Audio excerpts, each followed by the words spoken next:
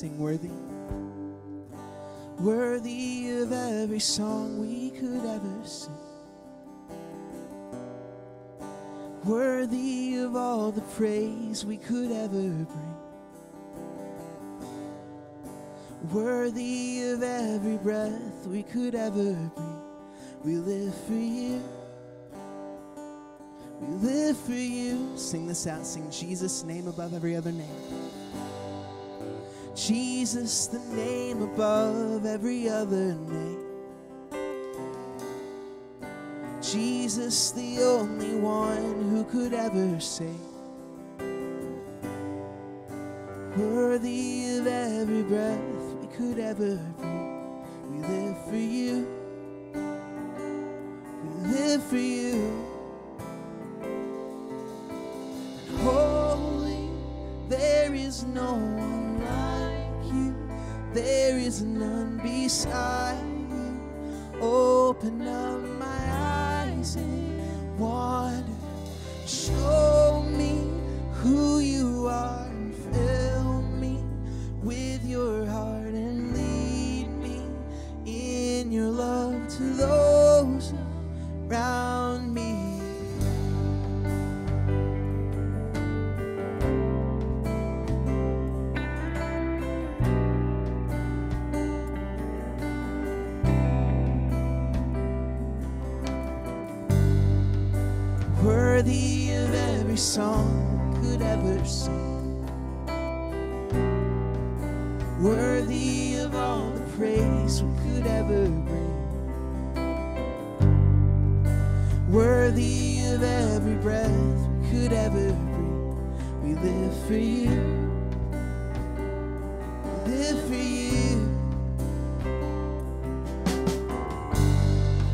Jesus, the name above every other name. Jesus, the only one who could ever save. Worthy of every breath we could ever. We live for you. We live for you.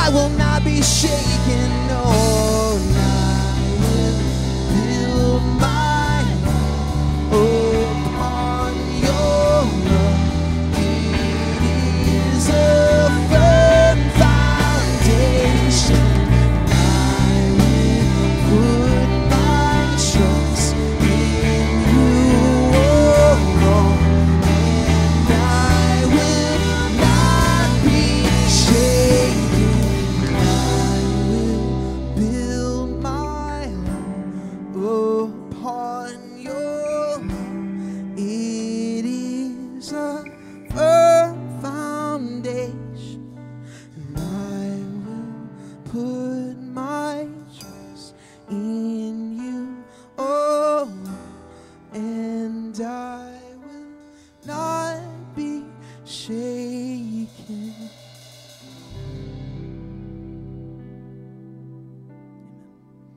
Would you pray with me?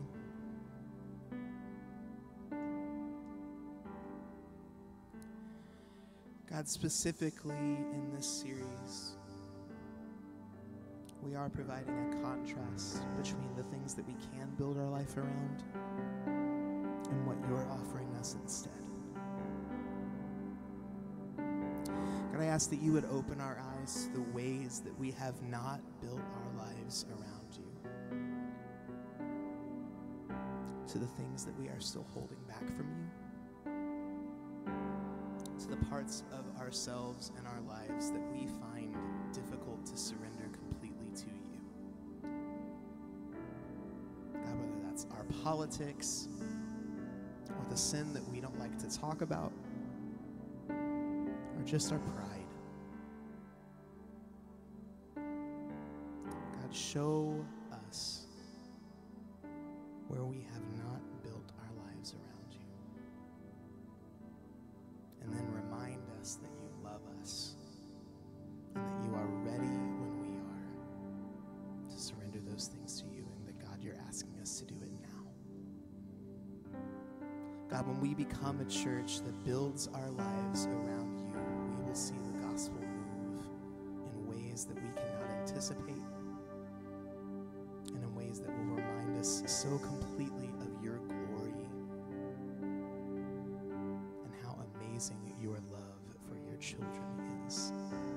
So, God, I ask that today we would take more steps to get there, more steps to be the kind of church that has built our life and our community around who you are and around the gospel. God, get everything else out of the way so that you can receive the fullness of this church. In your precious holy name.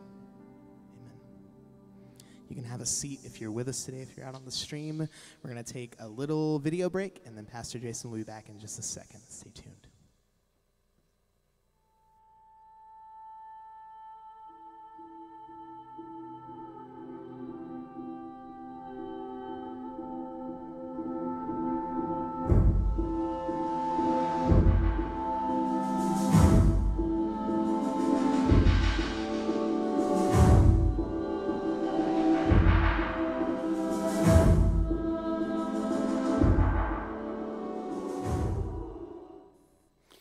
Good morning, good morning, people in in the place in the in the building here. Nice to see you. Nice to see some more of you. Uh, I think zero to four, we started getting some people uh, people coming back because somebody's going to watch their kids for a little while. Uh, they are in the back. They are careful. They are following all the guidelines. We are glad that they're here and glad that you are here. And if you are live with us on the stream, then we are excited that you're here. We understand there's some stream issues this morning. We promise that if this gets interrupted, it will show up uh, later, all recorded for the message. Uh, if you're new with us, though, we'd love you to do is go to cityviewpearland.com slash hello, cityviewpearland.com slash hello, cityviewpearland.com slash hello. Repetition aids learning, and that's one of the things you guys said I do all the time on Facebook. So there it is, cityviewpearland.com slash hello. That is how uh, we want. We just want to get a record of your visit. Glad you're here. Want to be able to follow up with you uh, and touch base. That goes for in person and on the live stream. Also, want to give you an update if you weren't here last week or weren't watching last week. We, we did go ahead and affirm the vote to purchase the building. Uh, the elders scrambled this week, and we actually end up closing on the building on Wednesday. So we are official owners of 6301 Broadway. Yes, this is a big thing. Even you live streamers, you should be clapping too. Your kids will think you're crazy, but they already do, so get over it. Um, and and we're we're going to be sharing some more more things that are going to be going on there in the not too distant future. Uh, very excited for what how God has delivered that to us. Very excited for how we're going to get to start using that thing uh, soon. We are going. We are in the middle of a series. I started last week called Divided States. One of the things we're addressing in this series is the tendency for Americans to divide over our politics. And really, the sad thing is the division that the church sees as a result of that. We're always going to have some division based on different things we think or how we want to vote or whatever else. But the church is called to be united. Not united around a political party, not united around a, a, particular theme or an idea, but we are united around something that, that, is, that is core to us, and that is the person and work of Jesus. That is who Jesus is and what he's done. It is the gospel that, uh, that, that he calls us to center ourselves around. And so, one of the things that we're trying to do in the middle of this series is call us to pray. Uh, and it, if you are not subscribed already, we are sending out week daily prayer reminders uh, via text, and we would love to have you uh, sign up for that. You could text Pray 2020 to uh, 281 767 2936. I'm squinting. My eyes are not that good, and I'm reading it from the confidence monitor in the back. So if I got the numbers wrong, don't be mad at me. Uh, we would love to have you on that prayer chain that is happening daily, uh, just different ways, quick reminders, middle of the day for you to pray for our government, pray for these elections, pray for the elected officials that we have, uh, that, that we would mm, not be polarized and partisan, but would be focused on the gospel, focused on Jesus, focused on what he's calling us to do and what he's calling us to be. The Astros are in the ALCS. Are we excited? Yeah. Uh, I love it because we were not supposed to make it, and we made it. And to the rest of Major League Baseball. We are, uh, we, we are proud of our Astros. We're excited for what, what's going to go on. Now, here's the thing when the Astros take the field today, there are three teams that take the field there's the Astros, and there's the Rays, and then there's another team, the Umps. The Astros and Rays, they come in, they've got a plan. Their plan is to try to win the game. They want to win the game, win the series, go to the World Series. That, that is the plan. That's what they're going after. They're, they are in conflict over something very specific. But the umpires, they're also taking the field. In a way, they're on the field, but not of the field. They're part of the game, but not in the game. They report to a different authority than either one of the Astros ownership or the Rays ownership. They report to Rob Manfred, who sits at 1271 Avenue of the Americas in New York City. He has reps at each game played throughout the league. The officials represent the kingdom in New York on the field. They're distinguishable. They look different. The Astros are going to wear one color, the Rays are going to wear another color, and the umpires are going to wear black and gray. They rule on the field from the kingdom in New York, on behalf of the kingdom in New York. Official is out of line if he joins a team. Now, Sometimes we can't throw strikes. We can't throw strikes. The, the, the guy can't come out from behind home plate and start, and start throwing strikes for us. That's inappropriate. The umpire does not have the right to go up on the mound and start throwing for the Astros or the Rays. Each official has a book that governs the guidelines of play. Their personal opinion is subject to that book. They may prefer a team over another, but preferences need to be subject to the book. Decisions, those umps are going to make calls, balls and strikes, home run, not a home run, out or not out. And those are going to be subject to cheers or boos. And it can't matter to the umpire which way it goes.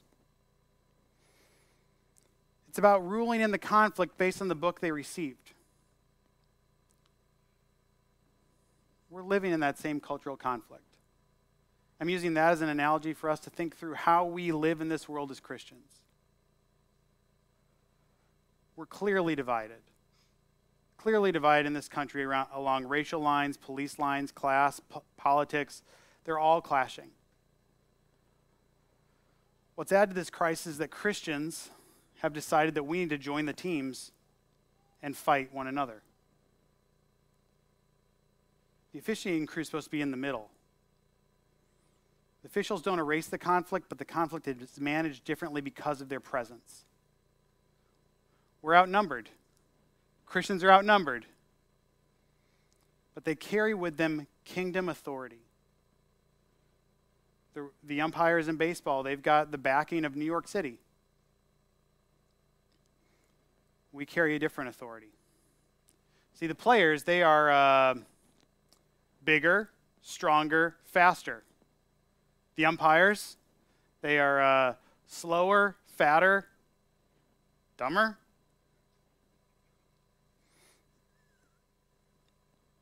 but authority trumps power. A player can put, can put you down, but the umpire can put you out of the game. Authority is different than power. We've allowed the culture and our upbringing to dictate a team that we end up joining rather than recognizing that we've been called as different part of a kingdom. I asked the boys last week, they, they were sitting in the back, uh, and I said, What do you remember Daddy saying while he was preaching? And, he's, and they said, You said king, kingdom a lot, Dad. I said, All right, good, you took it away.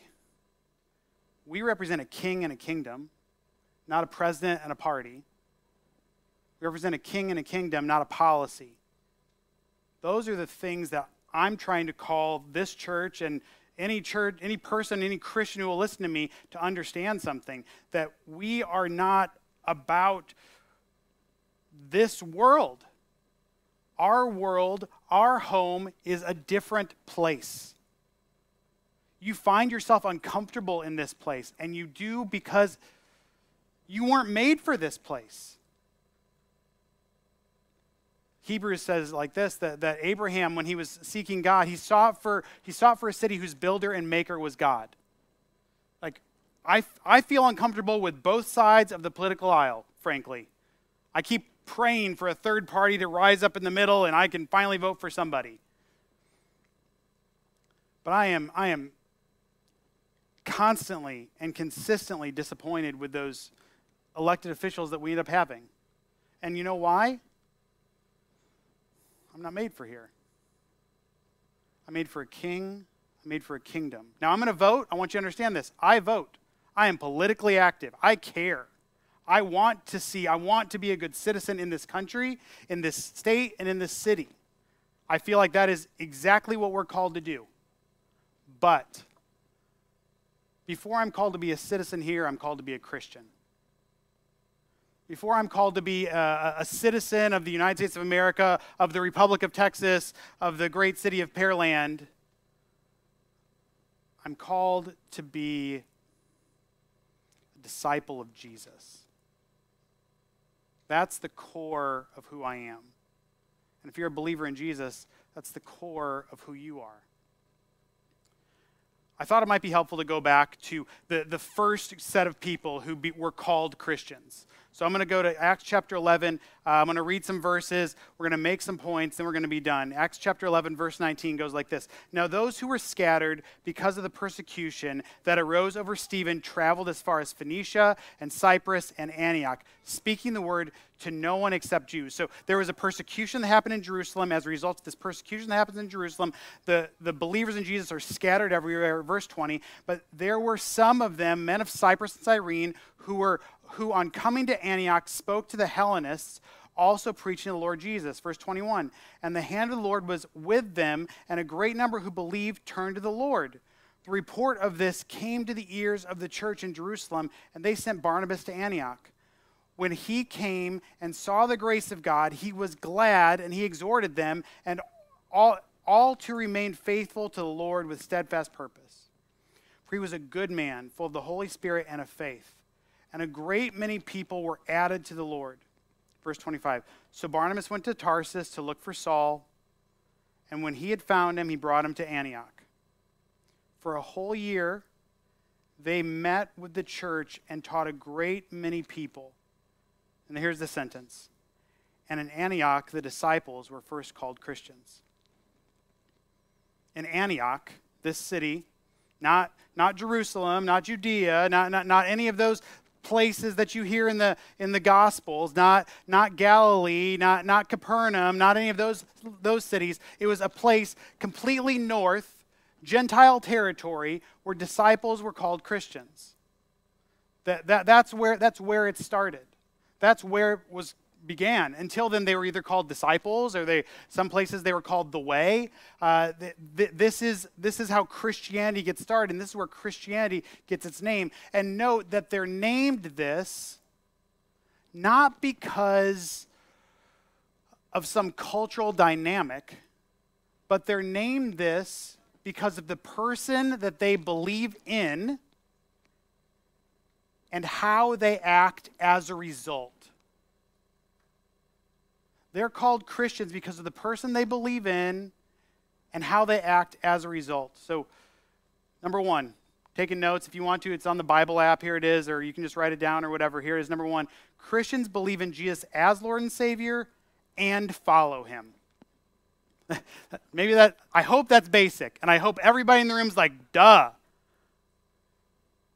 But sometimes I think we miss what's actually going on we, we tend towards one side or the other here, where we say, we believe in Jesus, we believe in what he's done, we trust him, and we're going to be saved and, and great, and now I can act however I want to act.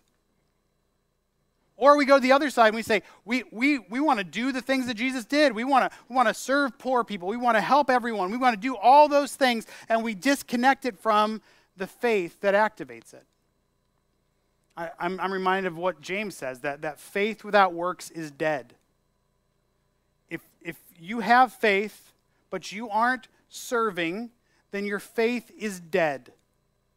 If you, and, and conversely, if you are doing works, but there's no faith behind it, then the works are without purpose, without eternal purpose, let's say.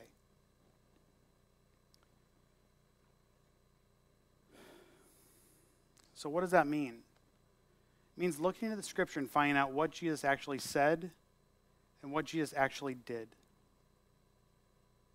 Who it is that we say we believe in, and what we're supposed to do as a result of who we believe in. It's not one or the other, it's both and. Christians, we believe in Jesus as Lord and Savior. Amen. And we follow him. Amen. We do the things He told us to do. We act the way He tells us to act. And we don't, mm, when we find something that's hard for us to follow, hard for us to do, hard for us to follow through with our personality, we don't say our personality just doesn't allow us to do that. We conform ourselves not to culture, or the Astros or the Rays or the team that you decide to join or the Republicans and the Democrats or the you know elephants or the donkeys or whatever. We conform ourselves to who Jesus is and what he's done. We don't conform ourselves to the patterns of this world. And, and maybe one of those things that, that we miss a lot as Christians, and I, and I, and I think it's just true, so true in the election cycle, and uh, over this last year, you see it all the time, is, is we forget maybe that this thing, the identifying mark that is supposed to be true of all Christians. This is the, the thing. There's one thing. Jesus makes it real clear. There's one thing that you're going to be known by. You're going to be known by one thing. John 13, 34. A new commandment I give to you, that you love one another, just as I have loved you. You also are to love one another. By this, so this thing, your love for each other, all people will know that you are my disciples if you have love one for another. So, in that two verses, he says love once, twice, three times, four times. Four times, two verses, love. What do you think Jesus wants his disciples, his followers, to be known by? You guys can shout it out there, you guys can shout it on the stream. It's love. Guess what? It's not. Your political bumper sticker, the t shirt that you wear, now, if you have a t shirt that you wear that says Biden Harris, Trump Pence, Giant Meteor 2020, whatever, we're not going to get down on you for wearing a t shirt, but that's not the thing that you're to be known by. It's not about the fish on the back of your car. You are to be known by your love. Sadly, Christians as a whole are far more known for the things we're against than what we're for. Far more known for the things that we do poorly. Now, sometimes that's just because we, we don't get reported on fairly, frankly. I think that's true. But I think if we were also overdoing it in the love category, it would be really hard for anybody to misreport on what, we, what Christians do. One of the things I love, I, I hate disasters. I hate dis- I hate the hurricane hitting. I hate fires in California. I, I hate that stuff. It's terrible. It's, it's what it is is you see you see the, the broken world just going to pieces without Jesus. But one thing I, I love after the disaster is that Christians are the ones who jump in there first. I don't know if you know this. We are Southern Baptists. We don't talk a lot about it, but we are Southern Baptists. And the Southern Baptists are the first ones in to almost every disaster throughout this country. The Southern Baptist Disaster Relief, they, they were on the scene in Lake Charles and on the scene throughout Louisiana before any other group, before the Red Cross was there, before any other group. We contribute to the Southern Baptist Convention. That's part of how our tithes and offerings go. That goes that way, and we help do we, we, we help in those things. That doesn't get a whole lot of publicity, but it's part of who we are. It's one way that we get to show love to people. I was talking to a friend of mine who's a liberal, and, uh, and you know, yes, that's possible. You can be conservative relatively, and you can have liberal friends. Um, and, and they were talking about how frustrated they were with Christians. But then they pointed out during Harvey, they were all over the place. They were helping everybody. Understand, it's noticed when you do show love, it's remembered when you do. Believer in Jesus, how are you known individually?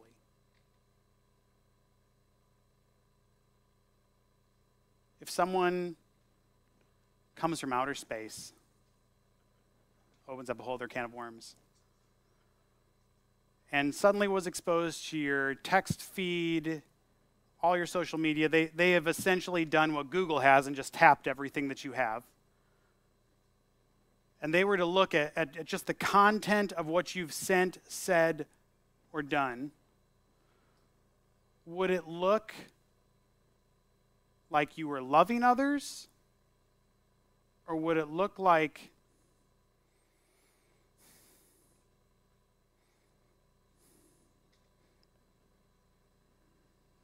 I don't know, anger, hate, frustration was what carried the day.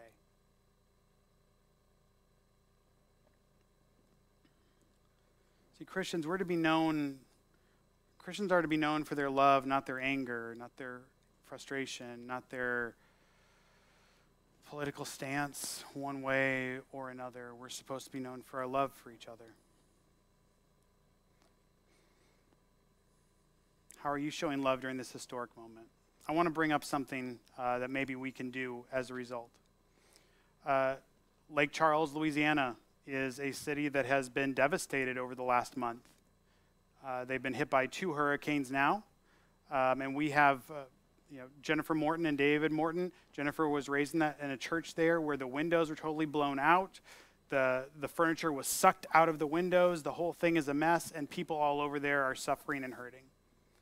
One thing that uh, we've tried to organize and we're working on is, is getting together some gift cards, getting together some money so that we can send back to that church to help them out and help the people in that area out.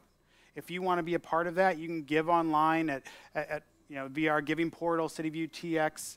Uh, .infellowship.com, cityviewtx.infellowship.com, and you go on there and choose disaster relief, and that money will go towards this specific problem, this specific heartache, this specific thing, we'll make sure that money gets directed to help that church and those people in that city.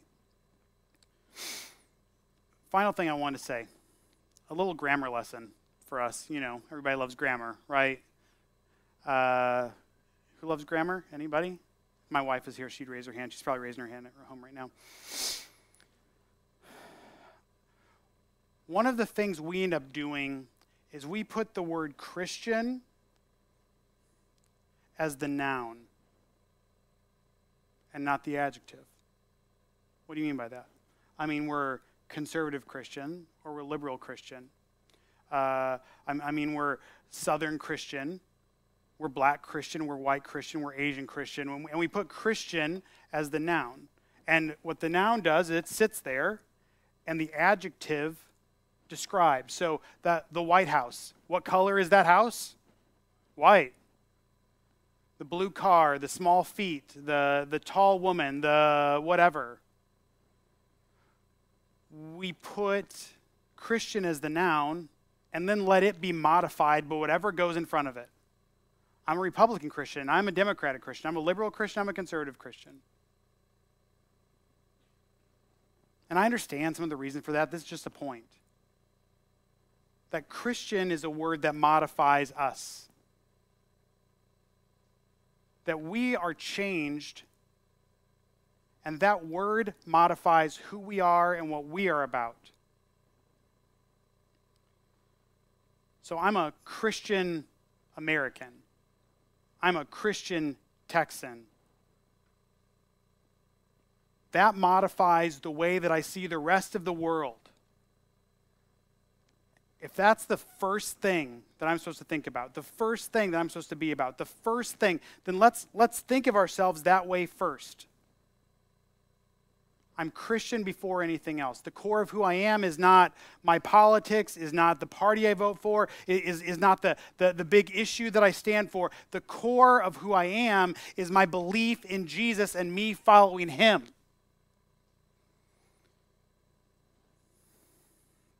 Christians were first described that way because their actions lined up with Jesus. They were first called Christians because they looked like little Jesuses.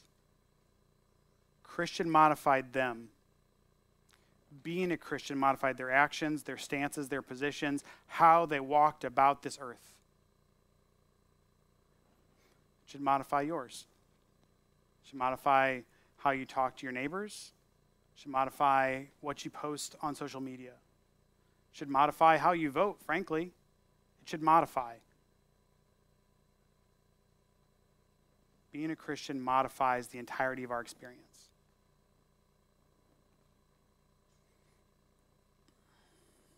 one of the exciting things that we're going to do in this series is we're getting to uh, to show people whose lives have been modified throughout COVID by the work of Jesus, and we're going to do that through baptism. Uh, I'm going to pray, and we're going to have the announcements play, and then after that, uh, you're going to see Buddy Youngblood come up and be baptized. Jesus changed his life, and we're excited for that. Father, thank you for who you are and what you've done. Thank you for the hope that we have in Jesus. Lord, I pray for Christians that we would that we would uh, be salt and light, or that we would help to bring love and hope and peace and joy to a culture that's broken apart. That our humanity would not sit in the adjectival position, but our Christianity would, and that would modify everything else about us. Lord, thank you for how you've changed us. Thank you for how you've transformed our hearts, regenerated us through the Holy Spirit. Thank you for Buddy, who's trusted in your Son and is showing that forth in baptism. It's in the name of Jesus that we pray. Amen.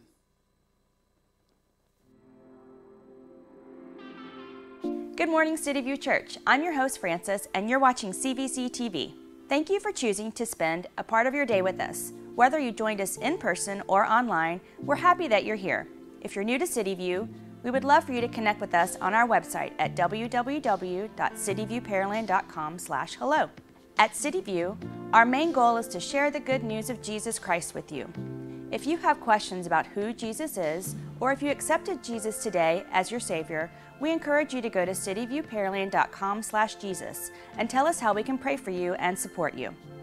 CityView is going to walk together in daily prayer as part of our upcoming series, Divided States of America. It's about much more than just politics. This prayer journal will guide us through conversations with God about our identity in Christ and the church's role in our lives. To sign up, text PRAY 2020 to 281 767 2936. In this time, it is very important that we all maintain giving as much as we feel comfortable. Your giving is how CityView can continue to be prepared to serve and love the community during COVID 19. This week, we'll be rebroadcasting this stream on Wednesday night at 6:30 p.m. Be sure to share that stream with friends and family who may have missed this week's service. Thanks again for joining us this week at CityView. If you're in person, be sure to stick around a few minutes to say hello. We can't wait to see you again soon. All right. Welcome again. This is our second week of baptism, and uh, I get the honor to do it again. Uh, this time with a much bigger kid than last week. Uh, last week I was able to pick that. I'm not gonna be able to pick you up and put you in there. So if you could just uh, stand there and sit, sit in there. No, no. I'm already I gotta have a hernia surgery or something. All right. So yeah, this is Buddy, and it, and uh, what's so great about this is, man, this is an adult man that's come in front of you all to be baptized, and the water's really cold, and he's like, "Hurry up, Travis! Uh, I want to get through this." Uh, but man, it, what it just excites me because as an adults, you know, sometimes we have pride or sometimes even fear to get up and do something like this. But Buddy uh, loves Jesus, and he wanted to show people that he loves him. So we're going to baptize Buddy now. Father God, I baptize Buddy, my brother in Christ, in the name of the Father, Son, and Holy Ghost, raised and new spirit of you. Thank you, buddy. We love you, and we are still praying for you through your walk with Christ. And uh, you can get up now and get out of that cold water. Yeah, there you go. All right, so I'm going to pray and we will be dismissed. Father God, we come to you. We, we thank you for this baptism. We thank you for Buddy who uh, loves you and uh, even through struggles as in life and, and as an adult, uh, he has come forward to show people that he loves you. And I pray that this God will uh, just give uh, courage and and encouragement to others that, that need to come forward to know you and those that even maybe want to be baptized, Father God. I pray we go through this week, Lord, that we'll put you first in everything that we do. In your name I pray. Amen. Dismissed.